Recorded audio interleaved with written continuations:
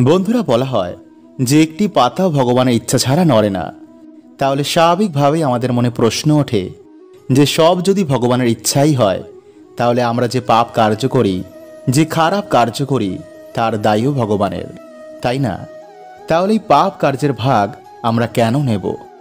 যদি বন্ধুরা এরকম প্রশ্ন কখনো আপনার মাথায় আসে, তো আজকের এই ভিডিওটি শুধু আপনার জন্য। তাই অবশ্যই বন্ধুরা পুরো ভিডিওটি দেখবেন। আর তার আগে বন্ধুর এরকম আরও ভিডিও পাওয়ার জন্য অবশ্যই চ্যানেলটি সাবস্ক্রাইব করতে একদমই বলবেন না। আর কমেন্টে লিখুন, হর হর মহাদেব ও জয় শ্রীকৃষ্ণ। বন্ধুরা, ভগবান শ্রীকৃষ্ণ ভগবদ গীতায় বলছেন, হে পার্থ, এই সৃষ্টির সব কিছু আমার ইচ্ছাতে হয়।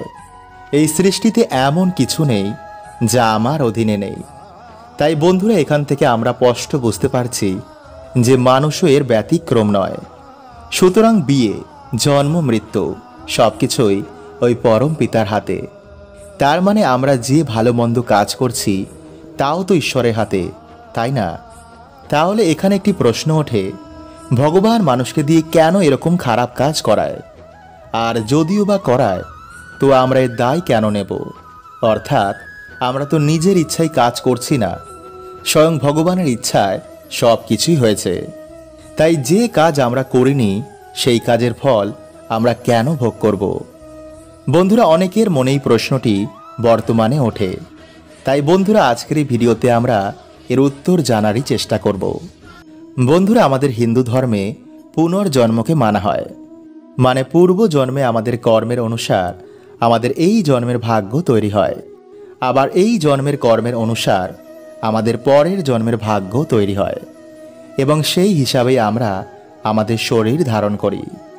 এছাড়া বন্ধুরা, আমরা এ জন্মে যেমন কর্ম করি, সেই হিসাবেই আমাদের ভবিষ্যৎ তৈরি হয়। মানে আজ যা আপনি কাজ করছেন বা কাজ করবেন, কাল তা আপনাকে সেই ফলই ভোগ করতে হবে। তাহলে এখন প্রশ্ন ওঠে, যে আমরা যা কর্ম করি, তা কি ভগবান ঠিক করে দেন? এর উত্তর বন্ধুরা, না। ভগবান কখনোই আমরা কি কর্ম করব তা তিনি ঠিক করে দেন না। বরং আমরা কি কর্ম করেছি, তার ফলই তিনি আমাদের সেই হিসাবে প্রদান করেন এবং সেই হিসাবে আমাদের মৃত্যুর পরবর্তী জীবন, পরবর্তী জন্ম নির্ধারণ হয়।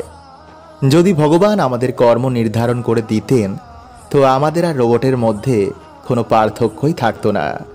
রোবটের মধ্যে সব কিছু রয়েছে, কিন্তু রোবট নিজে থেকে কোনো ভাবনা চিন্তা করতে পারে না, কারণ তার মধ্যে কোনো চেতনা নেই। আর এই চেতনাই হচ্ছে পরম পিতার অংশ মানে আত্মা। আর এই আত্মার গুণ করুণা, দয়া, মায়া, মমতা, প্রেম, এই সব কিছু মানুষকে দেব তুল্য করে। আবার অপরদিকে হিংসা, ক্রোধ, লোভ, কামনা, বাসনা, এগুলো মানুষকে পশুর সমান করে দেয়। সুতরাং বন্ধুরা, আমরা নিজেরাই ঠিক করছি যে কোন গুণ ধারণ করে আমরা কোন জনই প্রাপ্ত করব। এর জন্য মানুষের মধ্যেই একমাত্র ভগবান চেতনার বোধ দিয়েছেন। আমরা বুঝতে পারি যে কোনটা ঠিক কাজ আর কোনটা ভুল কাজ। তাই আপনি যা করছেন, নিজের জ্ঞানেই করছেন। এবং এই কর্ম শুধু আপনার ইচ্ছাতেই হচ্ছে। শুধু ভগবান যখন সন্তানরা খারাপ পথে চলে যান তখন তিনি বিভিন্নভাবে সন্তানদের মার্গ দর্শন করেন। তা দণ্ডের মাধ্যমে হোক বা আশীর্বাদের মাধ্যমে। তাই অর্জুনকে কুরুক্ষেত্রের যুদ্ধে ভগবান বলছেন, হে অর্জুন, আমি তোমায় শুধু রাস্তায় দেখাতে পারব, কিন্তু কর্ম শুধু তোমার হাতে। তাই অর্জুন যখন নিজের চারিদিকে আপন জনদের দেখে তার যখন রাস্তা হারিয়ে যায়, তখন ভগবান তাকে মার্গ দর্শন করার জন্য গীতা জ্ঞান প্রদান করেন। তাই বন্ধুরা আপনারা বুঝতেই পারছেন যে কর্ম করার অধিকার তা আমাদের হাতে, আর কর্মের ফল দেওয়ার অধিকার তা পরমেশ্বরের হাতে। হরে কৃষ্ণা, ওম নমঃ শিবায়।